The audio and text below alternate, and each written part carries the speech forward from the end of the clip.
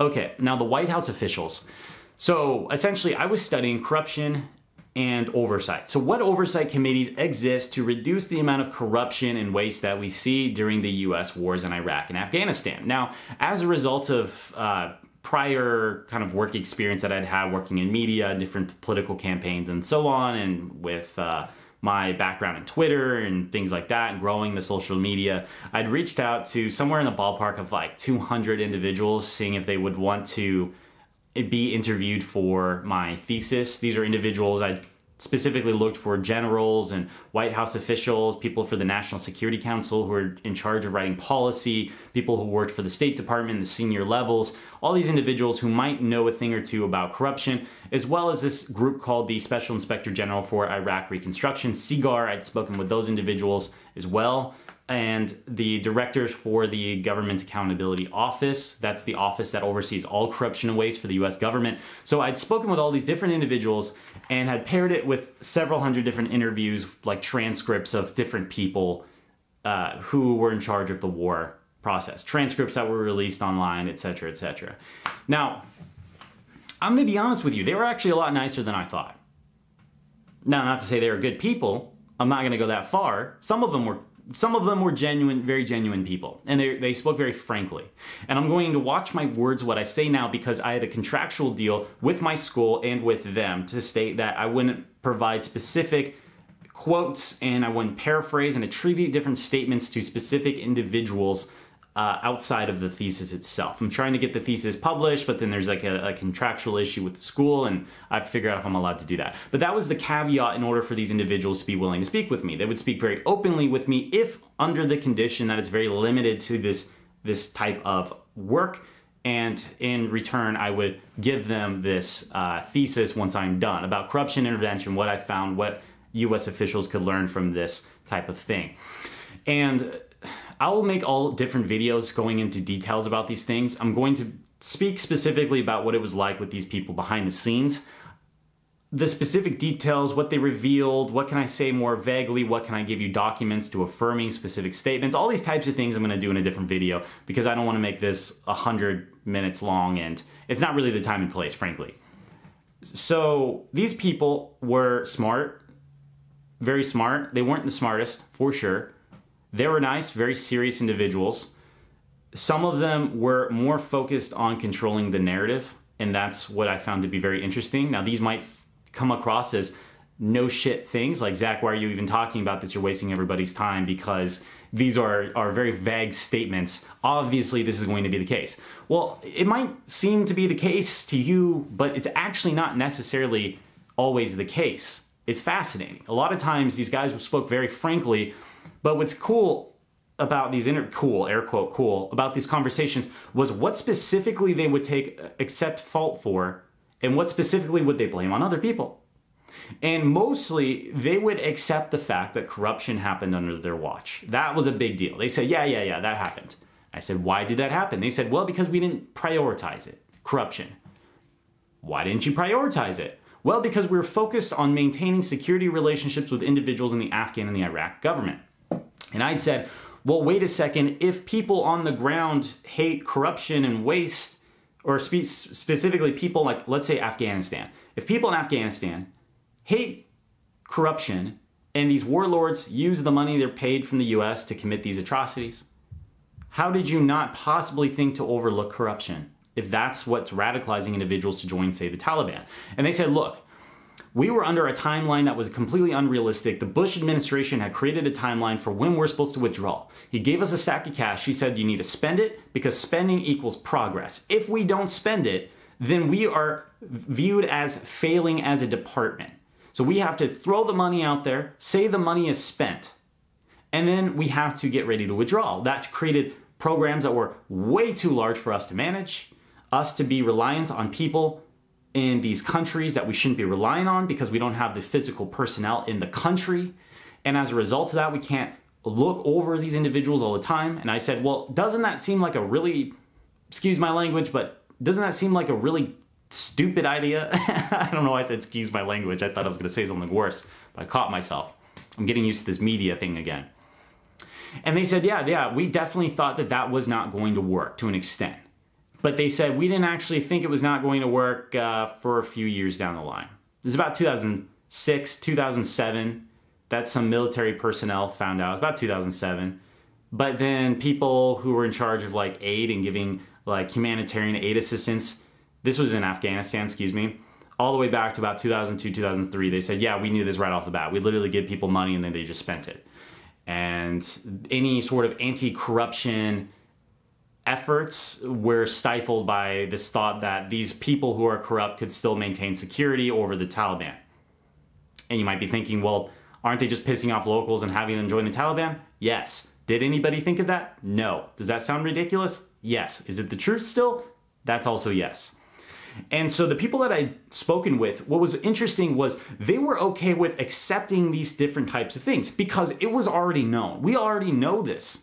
But what was interesting was that they would refute one specific fact about this situation, which was they had poor coordination with other agencies. And as a result of that, this coordination, they became over reliant on these warlords when they themselves, as individuals, should not have been doing that.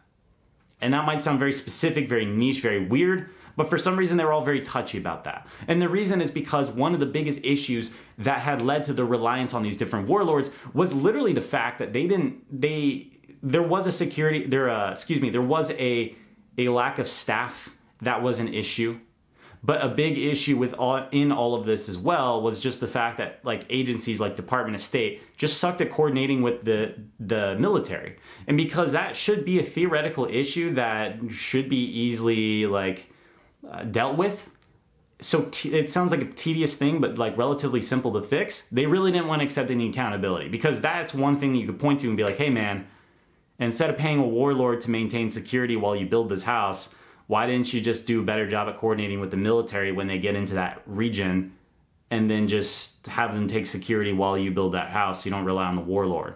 And that's what's very sensitive to them. So interagency coordination is what that's called. Now, if you want to know what specifically is going to happen in places like Ukraine, if there's a reconstruction there, or any of these other places, interagency coordination is going to be the number one American failure that's going to lead to a bunch of money wasted that we could have used for social welfare. Quote me on that. But anyway, most of these guys were pretty talk pretty frankly, honestly, they really didn't care at this point what anybody thought except for that interagency coordination aspect. I, the military guys were obviously a lot more blunt. The guys who were in charge of developing uh, war policy for Iraq and Afghanistan, I give you more details, but I have to speak with uh, different like lawyers and so on and see what I can reveal. The Department of State guys were pretty cool as well. Everybody seemed to be relatively all right with speaking with me, and I think most of the reason is because there were at times where they're trying to control the narrative specifically as it relates to what their role was. So, for example, we didn't do that. I myself didn't do that. That was sweet baby Jesus. The camera just cut out. a lot of these folks though would say, "We didn't do that. That was not our job. That was uh, that was Dick Cheney. Dick Cheney's the one that made that policy." And that happened all the time, by the way, and that's probably relatively correct, but there are times where I would have to call them out and say, well, no, according to the documents, this was your specific job in, say, for example, the Department of State. You can't blame this on somebody else. But overall, people were very keen on blaming Cheney for everything. Essentially, within like the White House, by example, there was a, a general consensus that there was Bush and Cheney who did their own thing, and then you had all the other individuals in the administration who had all focused on developing plans. So a lot of times these folks would develop plans, develop a specific idea about what exactly we should be doing, and then Bush and Cheney would ask very vague questions. Do you need help? Is everything going okay? And they would not accept no for an answer, or else they would get mad and maybe fire some people. But if you said everything is going okay, they wouldn't ask any additional questions. And I learned that inside the, the White House, they would do that intentionally. And the reason why they would do that is so they could limit their culpability. They could limit the amount that uh, the public could blame them because they could always fall back on, well, I didn't know that was the case. My administration didn't. They didn't tell me. And so that was something that was very significant to the Bush administration where they knew what to ask, what not to, because they knew things were going bad. But at the same time, they didn't want to be held to blame. That's very interesting. Oh, and by the way, Dick Cheney is exactly how you think. He's an absolute psychopath, and everybody inside the administration acknowledged that as well. Now, finally, we have the Afghan security personnel. I might actually get some uh, audio recordings if I can, or maybe get some statements from some of them. I had actually known some people from MSNBC, CNN, NBC. There's like a, a specific correspondent, well, a few correspondents who worked for them in Afghanistan. He was kind of a contractor and I'd reach out to him, and he had got me in contact with these different officials, these different uh, special forces personnel who end up becoming Secret Service. And then we have to verify their identity, and we do that through different like pictures, and you have to triangulate who they are and get some alibis, etc., etc. So we ended up doing this. It was a really cool project.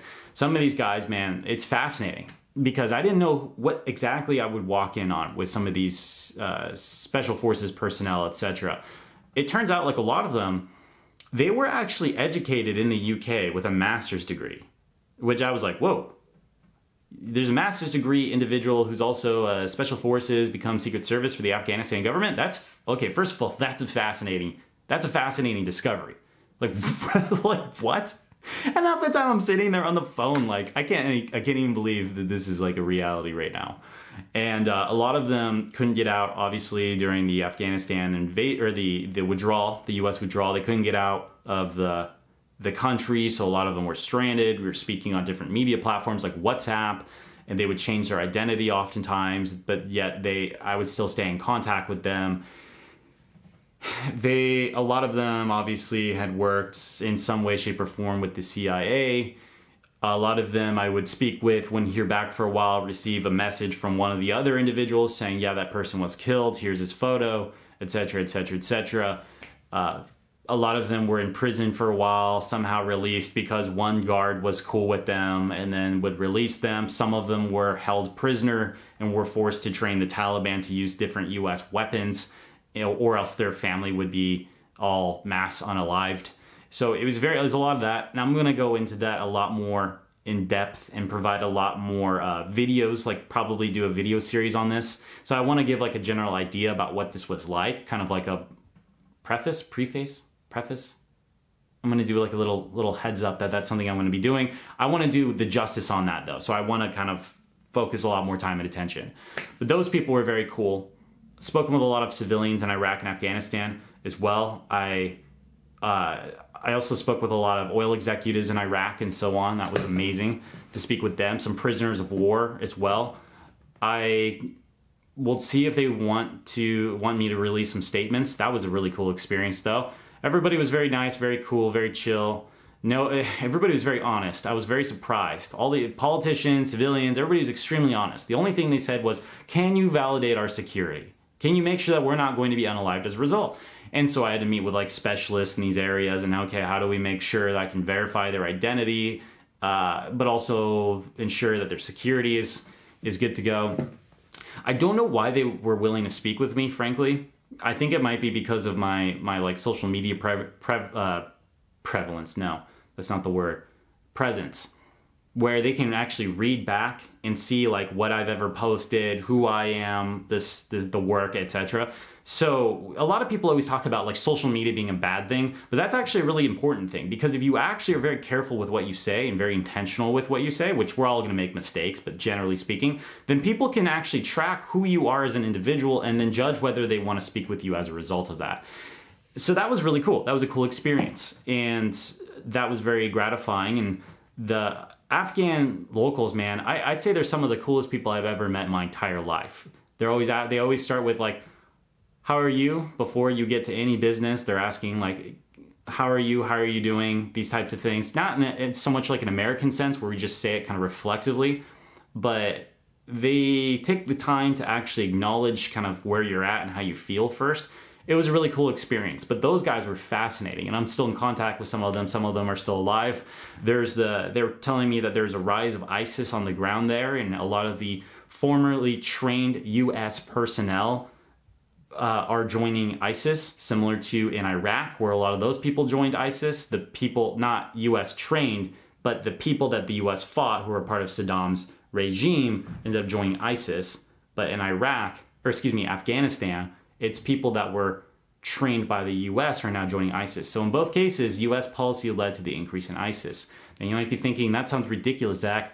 Afghanistan and Iraq are not near each other. Afghanistan is not even near Syria. Yes, you're right, but it's still a thing. You know, people can in fact travel, and it's a big deal right now.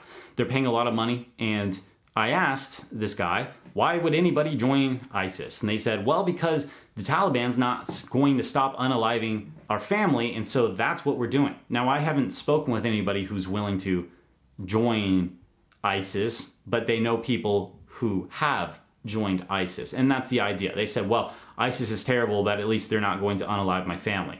It's like, yeah, man, I, I guess, but they're going to do all the, you know, videos that we see online.